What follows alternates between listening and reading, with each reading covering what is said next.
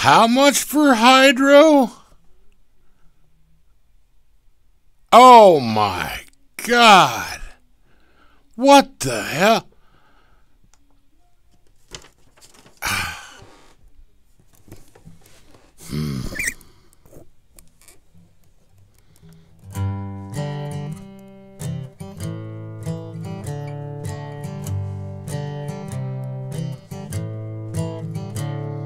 You're a mean one, Kathleen Wynne.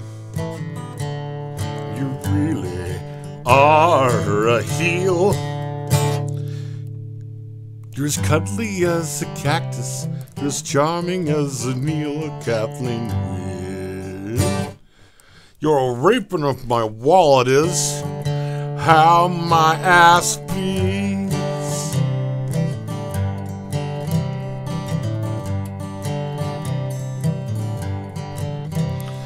You're a monster, Kathleen Wynne. Your head's an empty bowl. You sold our fucking hydro and put his father in the hole, Kathleen Wynne. Patrick Brown wouldn't touch you with his 39 and a half page poll. You're a vile one, Kathleen Wynne. You have termites in your smile. You're an Orville Redenbacher looking gender bender hooking crocodile. Given the choice between the two of you, I'd take the hooking crocodile. You're a foul one, Kathleen Wynne. You're a nasty, wasty skunk. Your heart seems non existent, and we know you don't like spunk, Kathleen. The best three words that describe you are as follows, and I quote Stink, stank, stunk.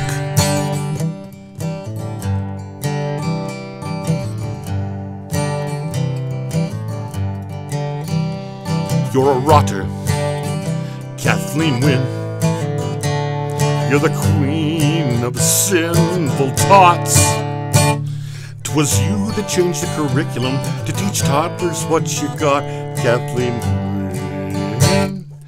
Your soul is an appalling dump heap, overflowing with the most disgraceful assortment of deplorable rubbish imaginable. Mangled up and tangled up knots. You nauseate me, Kathleen Wynne, with a nauseous super nos. You're a crooked, dizzy dipshit, and you're nothing but a loss, Kathleen Wynne. You're a triple decker horseshit and sliver sandwich in arsenic sauce.